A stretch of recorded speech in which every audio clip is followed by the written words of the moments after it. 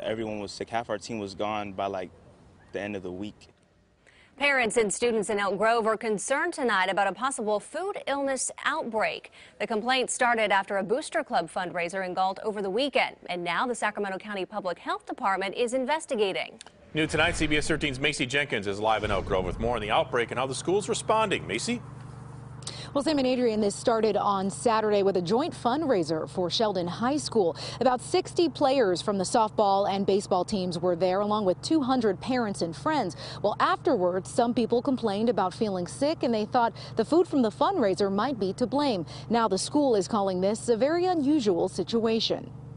Everyone was sick. Half our team was gone by like the end of the week.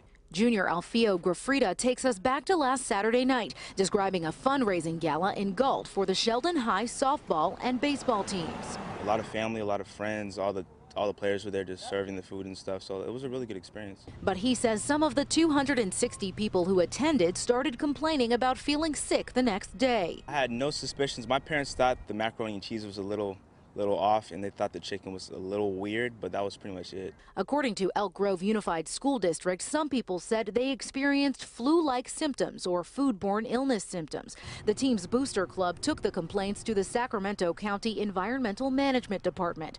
We reached out to the department too, and the county sent us this statement saying currently 10 people have been reported to public health who may be linked to this. As part of the investigation, public health is working to identify the cause of the illness and anyone anyone who may have become ill. According to Sacramento County Public Health, the event was catered. We called the company several times throughout today to ask about the event, but no one has responded. We checked and found out the company's Facebook and Twitter pages active earlier today are now deleted. We don't know what to do. Um, we don't have any food left, so I don't know what we can do legally, but hopefully we could like find a situation where everybody gets out good. Now, the school told us that fewer than eight students from both of the teams were out from school on Monday. They'll continue to monitor the situation and make sure all of their students are healthy and back at school.